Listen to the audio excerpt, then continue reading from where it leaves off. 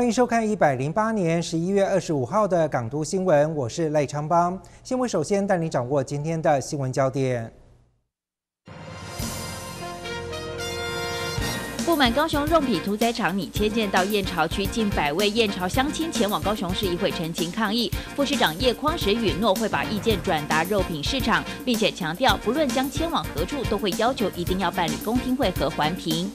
博二动漫季盛大开幕，副市长叶匡时变身哈利波特出席开幕典礼，希望邀请更多年轻人到高雄游玩，感受一下高雄的多元魅力。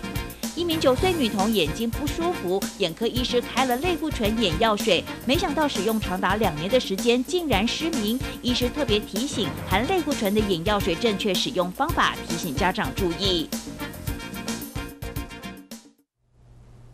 位在三明区的高雄肉品屠宰场打算迁建到燕巢区，不料消息一出就引发燕巢的乡民强烈的反弹，有近百位的当地居民在里长和市议员的陪同下前往高雄市议会陈情抗议。副市长叶匡时代表收下陈情书，允诺会把地方的意见转达给肉品市场。反对设立屠宰场。燕巢反对设立屠宰场。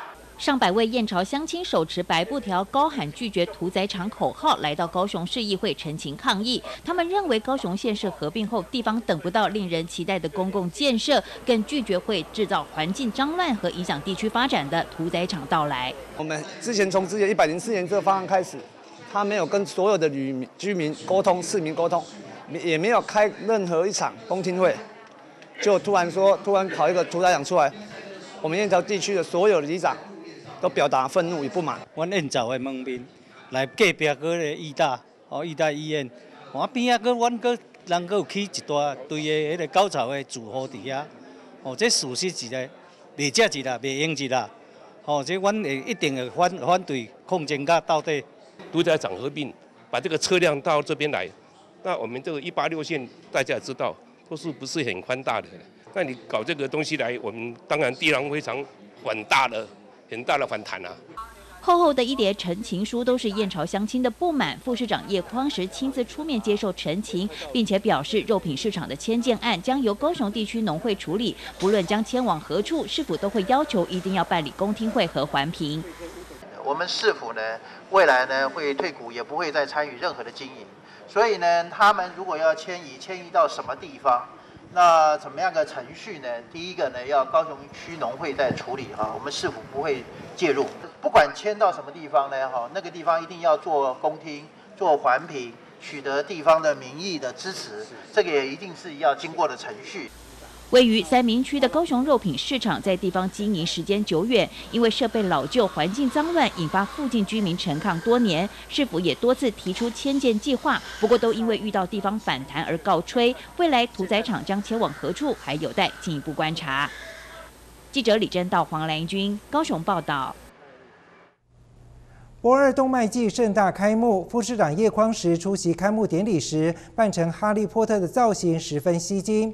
由于动漫季历史悠久，叶副市长除了希望动漫迷继续支持之外，也邀请更多年轻人到高雄游玩，感受一下高雄的魅力。出席博二动漫季开幕典礼，副市长叶匡时当然得入境随俗，在彩妆师精心打扮下，叶副市长先戴上假发，披上黑色披肩，最后再挂起黑框眼镜，仔细看看，跟哈利波特还真的有几分神似。随后，叶副市长跟扮成黑魔女的文化局副局长林尚英一同现身，分别拿起魔法杖。这两位魔法界的大师为今年动漫季增色不少。动漫季在高雄已经是非常有历史。我们希望这个好的历史传统能够一直延续下去，一年比一年兴旺，然后有越来越多的年轻人跑来我们高雄，大家一起玩。叶匡时扮成哈利波特也很放得开，不论摆 pose 或是要求三连拍，全都来者不拒。再加上许多 coser 在园区穿梭，让今年的动漫季充满人潮跟活力。下午开始的活动呢，大家能够玩得愉快，好。大家能够非常的享受我们高雄的阳光。高雄博二动漫季今年横跨四个场馆，包括在 P 二、P 三仓库及自行车仓库的同人志创作展及动漫出张美食馆，以及 B 四仓库的音乐舞台表演，希望借由庆典式的活动，让整个博尔园区成为 coser 的最佳舞台。记者潘志光、王思武高雄报道。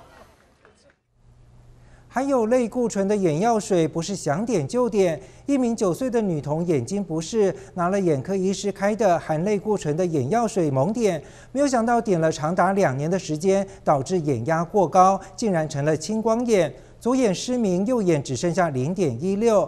医师提醒，含有类固醇的眼药水不是想点就点，一天不超过三次，每天使用不能超过两周。进入秋冬季节转换，眼睛一不小心过敏，又干又痒，好难受。就算揉了，还是没有缓解。找眼科医师求诊，拿上一罐类固醇眼药水，果然有感。不过使用眼药水可要很小心。一名九岁女童使用医师开的类固醇眼药水长达两年，因为没有定期追踪，导致眼压长期过高，竟然造成青光眼，最后左眼失明，右眼视力也只剩零点一六。儿童他是比较容易眼压高的。族群，特别是在使用类固醇的药水，好，所以一般我们儿童的话呢，哈，会去特别注意，不要让他长期使用，好，那可能有时候我们在跟病人解释的时候，也要病人要互相一起来听，就是说，哎，我们说有偶尔，比如说很痒的时候你在用，但如果说你不痒，你就不要持续一直使用，那有时候另外替代的方法。过敏很痒的时候，你也可以用冰毛巾做个冰敷，马上大概就可以止痒。医师说明，儿童本身属于眼压过高的族群，年纪小不懂得表达，尽管类固醇造成的副作用明显，也没有立即向家长反映。时间一长，眼压过高，压迫到视神经，就会演变成青光眼，造成不可逆的伤害。眼压高啊，它会对我们这个眼球的这个视神经产生一些压迫，那久了之后呢，就变成。视神经就受伤，这叫做青光眼。好，所以我们一般来说不需要说短期的眼压高几天可能还好，但是太高也不行。好，那我们就是眼压维持在一个正常。那正常的眼压一般来说是啊二十一以下，啊二十一毫米汞柱以下。所以如果超过眼压超过二十一以上的话，就我们就称之为眼压高，就有青光眼的风险。类固醇眼药水效果良好，医师表示常用在治疗过敏、结膜炎等疾病，但不是想点就点，一天不超过三次，每天使用不超过两周。尤其孩童、糖尿病及高度近视患者，罹患青光眼的几率比一般人还要高，因此定期回诊，注意用药资讯，才能保护好灵魂之窗，避免造成不可弥补的伤害。记者张世明、罗少军高雄报道。可以想象一下，重达百斤的黄鳍尾鱼分解需要多少时间呢？答案是二十分钟。在中山工商上演了一场尾鱼料理分解秀，找来知名日本料理店的料理长为同学示范如何分解尾鱼。在校友和学生的协助之下，这只大尾鱼一下子就被分解完成，让许多有意朝餐饮发展的学生大开眼界。眼前这条就是老饕眼里上好的黄鳍尾鱼，早上刚从屏东东港上岸，就被冷冻直送到学校，为的是要安排日本知名料理店的资深料理长亲自示范如何分解尾鱼。要这种鱼的话，最主要还是它的鲜度的保存。所以一早来的话，我们整条鱼的话都是用用很多的碎冰把它做保温的动作，然后从东港运送来我们学校，对。所以它的鱼体现在的温度都还保持状况都是很好的。要分解重达百斤的黄鳍尾鱼可不简单，刀要锋利，手劲更是要强。不仅要下刀精准把握时效，才能够保持尾鱼的鲜度，但要这样的功夫，没有日本料理店多年资历，可是无法上场的。我我自己本身从事日本料理大概有二十二十八年的一个经验嘛，站在吧台的师傅大概差不多五年的时间都会摸得到这种，起码也要五年的一个一个鲨鱼的一个经验。中山工商多年来跟三井餐饮集团建教合作。适逢学校校庆，餐饮集团送上这条大木黄鳍尾鱼来祝贺，并且安排资深料理长亲自示范尾鱼料理秀，让许多还在学校就读及正在实习的高职生大开眼界。第一次看到这么大只的尾鱼，然后它一只要八十公斤，然后也要三十万，然后很特别。有学到基本的鲨鱼和烤类，还有炸物类。你要愿意学，师傅一定都会教你。只要你肯愿意、肯努力、肯留，师傅们一定都会教你。他比较少机会可以摸到这个了哦。然后今天呢，还要感谢三井哦，他们三井集团呢，他们带来这一这一个黄鳍尾鱼呢，哦，这个叫大木尾哦，让学生呢哦可以看到，他可以体验到哦，然后让他呢可以到想说他以后如果从事这个行业的时候，他可以哦。他是从事什么样的工作？然后总料理长刀工实在了得，百斤的黄鳍尾鱼不到二十分钟就被大卸八块，成为一块一块新鲜的尾鱼片。而出神入化的料理秀，不仅让现场师生大饱眼福，也象征料理技术一代一代向下传承。记者王思武高雄报道。把焦点转到市议会。原住民的手工雕刻和表演艺术都非常具有独特魅力。如何加强宣传，让原住民优秀人才的作品可以被看见？市议员王义雄在总执行中，希望多争取展演平台之外，也盘点相关重要的原民庭爱事项，追踪市府各单位的办理进度。为高雄市山区部落原民发声，市议员王义雄在总执询中，先让大家认识台湾原住民部落分布地图，并且介绍各族群特色，尤其强调原住民的表演艺术和雕刻都非常具有代表性，希望文化局加强典藏当代原住民艺术家的作品，都是当地的一些的啊雕刻家啦，或是艺术家啦，啊做一些我们原住民的文物的一个展示、一个展览，我觉得这个很好啊。所以我们这个在高高雄市有文化局有那个文化馆、美术馆，为什么没有我们这些的来那个，就是说去推推广？我可以来转达美术馆文化局中心本身并没有典藏艺术品。是是，啊，我们去下下去我们要检讨一下。好，王义雄更进一步建议原民会和文化局能加强和部落表演艺术团队的合作，希望争取更多原民艺文活动被看见的机会。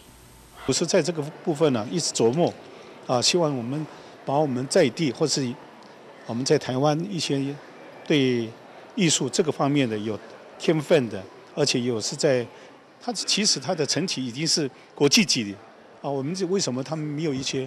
啊，挥洒的空间。啊，透过部落大学的的课程，其实我们也都有乐舞的呃乐舞的学习，有跟跟歌歌谣的传唱。那另外刘胜虎老师其实他也也在加入到我们部落大学里面来去教导，就是呃就声音跟跟整个展演的一些一些呃肢体的动作，也是有由刘胜福老师来去协助在我们部落大学来去去做教学哦。最主要有四个团。一个是原住民主运文化乐舞团、台湾原住民原原文化艺术团、大满舞团跟南岛舞集，共四个团。那这些团呢，都比照我们本市的立案的团队，在向文化中心申请剧场演出的时候，我们都给予五折的优惠。王义雄也同时关心原民部落的教育、健康、社会住宅和青年就业议题，并且追踪各项提案是否相关单位的办理进度，希望督促市府落实照顾原民部落，带动原乡进步发展。记者李正道、黄兰君高雄报道。再来看到的是，学校的厕所大多比较老旧、昏暗，没有特色。小港区太平国小就在厕所改建时加入学校的教学特色，像是女生厕所用马赛克呈现校园的蝴蝶园，男生厕所则加入篮球校队的篮球元素，学生们上厕所都不再有不舒服的感觉。来到女生厕所，可以感受到光线非常明亮，门板是讨喜的粉红色，墙上还用马赛克拼贴出蝴蝶、大嘴鸟，好像来到动物园一样。我觉得上面的大嘴鸟很可爱，让我想起动物园里面的很多动物。蝴蝶的颜色很缤纷，然后以前的厕所比较暗，然后现在比较明亮，厕所又比较大，以前的厕所都很很小。所以上起来会不舒服。男生厕所也有了大改造，同样光线明亮，门板是漂亮的蓝色，外墙上还有不同颜色的圈圈，代表篮球校队的篮球意象。路过时都忍不住要跳投一下。所以你刚刚有做一些投篮的动作哦？对。就可以投到最高的篮球吗？呃，可以。改善了厕以前厕所较臭以及较不卫生的环境。拱门吗？好像也是很特殊，然后。以前以前厕所比较脏乱点，现在真的是超卫生。会啊，我们鬼我们鬼知道你都躲这边。小港区太平国小是在厕所改造时加入了学校的教学特色，像是蝴蝶园和篮球校队，为了顾及品质，在设计、施工和验收时都费了一番功夫。啊，所以我们希望说可以呈现出它是一个圆润，然后色彩缤纷但安全的一个一个品质。所以其实，在过程中其实也一直不断的要求，就是施工单位就是可以达到我们的一个标准，然后可以还给我们一个就是很安全，然后很卫生，而且有。非常有特色的一个使用的一个如厕的环境。学校厕所大多阴暗潮湿，还有点味道，也不太会注意舒适性和设计感。太平国小借由厕所改造加入巧思，让厕所也能够成为学生玩耍逗留的好地方。记者黄俊怀、赖昌邦高雄报道。一名高龄七十二岁的日籍老翁平田先生，因为年轻的时候来过寿山动物园，想要重温回忆，就飞来台湾自助旅行，一路从北部玩下来。没有想到在前往寿山动物园时，却找不到方向。幸好遇到台湾的警察协助，英日文并用，顺利协助他前往寿山动物园。警方温暖的举动，让老翁直呼好窝心。老贝贝不断比着桌上的纸条，听到远景愿意帮助他去目的地，焦虑的心情瞬间缓解，露出开心笑容。原来这名七十二岁的日籍老翁平田先生，年轻时候来过台湾，想重温回忆，去寿山动物园游玩，不料途中迷失了方向，并来到三明派出所向玻璃市求助。那因为他年轻的时候曾经有来过台湾旅之旅游。那因为现在已经退休了，那想说想要回温一下来台湾的那个回忆，那所以说他就日前从东京，那自己一个人自助旅行来到台湾，那从北部一直旅游来到高雄这边，那因为他想要去前往寿山动物园，然后在。一直找不到那个动物园的方向，迷了路啊！刚好就走路走到派出所前面，就进来请求我们同仁给他协助。一开始老汪和远景比手画脚，有点鸡同鸭讲，不是很顺利。后来远景英日文并用，加上 Google 地图标示，才顺利突破盲点。远景本来想协助老翁搭公车前往寿山动物园，但考量老人家体力透支，距离又在辖区不远处，最后决定护送老贝贝前往。呃，原本是想要请他。坐公车过去了，要用那个 Google 的地图给他出示给他看。那那是因为说啊，因为寿山动物园离这边蛮近的，那我们同仁就顺道给他做一个服务，帮他送到那边过去。历经一番波折，终于来到年轻时曾经游玩的寿山动物园。老翁开心向远景道谢，直呼亚萨西好窝心，也要求合影留念。因为台湾警察专业亲切的态度，才顺利完成这趟时隔三四十年的台湾圆梦之旅。记者张世敏、罗少军高雄报道。资讯爆炸的年代，虽然透过手机就能够全部掌握，不过身为乐听人，如果只是等着接受而没有思辨能力，最后也只会成为假新闻的助力。要如何改变媒体的现况，还需要大家一起来努力。请看今天的媒体试读单元。早年的大众媒体常常不断的喂养乐听人，报道什么就看什么，内容却有许多的刻板印象。不过传统的注射理论现在已经遭到颠覆，大家可以选择收看自己喜爱的内容，但是却仍然保留着被喂养的心态。某个新闻事件，当媒体这样报道的情况之下，它可能有什么政治目的，或者是它可能有什么其他的一个意涵在里面，而不是单一接收讯息，然后就跟着这个讯息跑。啊，这是在台湾。比较常见，而且比较难解的。那我我相信一般民众要训练这样的能力的话，可能还是要花一点时间。看个电视或是随手划个手机，却要想东想西，不断的质疑里面的内容，相信很多人都做不到，也让媒体多年来一直以点阅率和收视率作为理由。因为山色新的新闻始终高居不下。但是身为乐听人，要改变现状，也有该尽的责任。在乐听人方面，我觉得。第一个，我想就是拒看了哈，就是拒看，然后嗯，而且要集体的拒看，才可能给媒体压力哈。那现在的讯息这么多，我们是不是有必要这样子做？我觉得可能啊，乐天人可以集体来思考一下，我们应该要怎么样去反制这样子的一个一个一个新闻的啊，我觉得是一个不太好的趋势。虽然媒体的堕落不能够全怪乐听人，但是根据收视率以及点阅率的调查，也的确发现优质的节目常常叫好不叫座。想要真正改变现况，还是得从自己的习惯着手，不要一看到耸动的标题就点进去，这只会让自己成为媒体做不出好内容的最佳理由。港都新闻综合报道。买礼券通常会有些优惠，但是在使用上还是有些限制，甚至有可能遇到店家停止营业，导致无法兑现等窘境。所以建议最好在履约期限内用完，比较有保障。详细的节目内容，请锁定十一月二十五号每周一晚间九点播出的《幸福按个赞》。开心购买礼券，但也要仔细看看上面的使用时间规定，像是平日住宿券或下午茶餐券等，店家也不能因为是持礼券消费而有差别待遇。消费者除了衡量店家的商誉之外，也可以向消保会反映，并且申请退费。在礼券定型化契约里面，其实是有规定，它是不可以呃任意做一个不合理的加价，只要你认为不合理。我们都建议你可以来申诉。另外，购买有履约保证的礼券就多了一层保障。通常履约保证为一年，一年之内如果遇到店家倒闭、停止营业的话，可以向履约银行要求退款。只要在这个期间内，万一厂商倒闭了，好，就像我们刚刚有举嘛，哦，今年真的有大巴饭店哦，很好的例子，它倒了，但是它的哎，你买的餐券上面的旅保期限还没有到期，那你就可以把这一张礼。餐券拿到旅保银行那边去退还现金。礼券上通常有流水号，购买后最好要保留发票。如果遗失时，还可以向店家申请补发。用信用卡刷卡的话，如果过了履约期限，又遇到店家倒闭时，可以向发卡银行以争议款申请退款。谈到信用卡消费的一个好处啊，因为尽管会有规定，如果你付了款项又使用信用卡。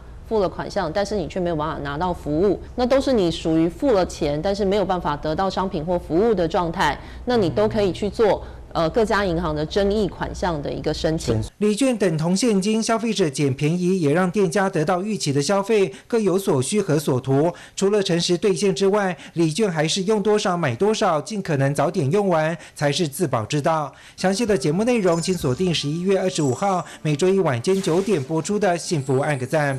记者黄俊怀、赖昌邦高雄报道。接下来提供您最在地的港都生活讯息。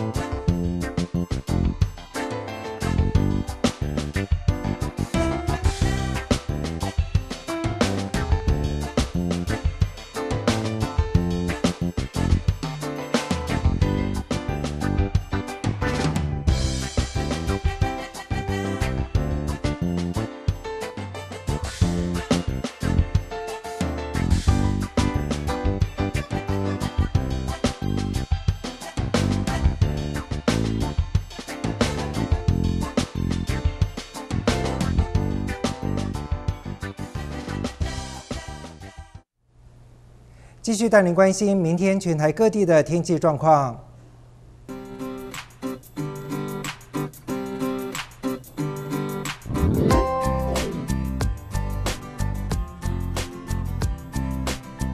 高雄、台南、屏东地区晴时多云，气温二十度到二十九度。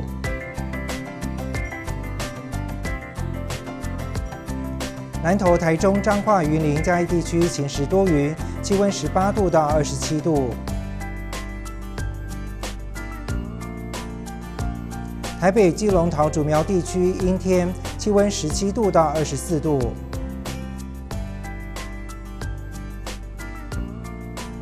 宜兰花莲、台东、澎湖、金门、马祖地区阴有雨，气温十五度到二十七度。以上就是今天的港都新闻，感谢您的收看，祝您平安顺心。我是赖昌邦，我们下次再会。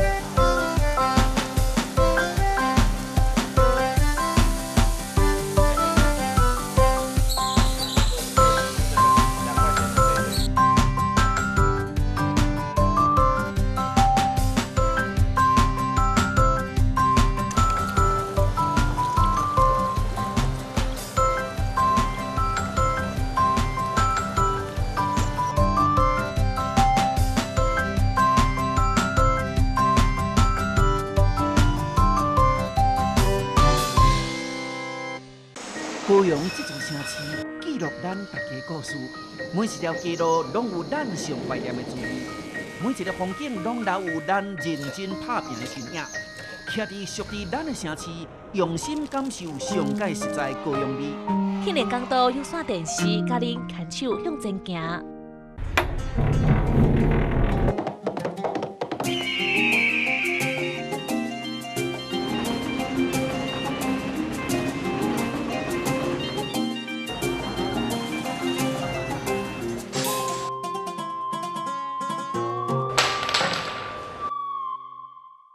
不管多么炙热的阳光，都要卖力打拼；不怕陌生的环境，也要勇敢绽放生命。因为你们是坚持梦想的高雄人，因为有你们，让高雄变得更精彩。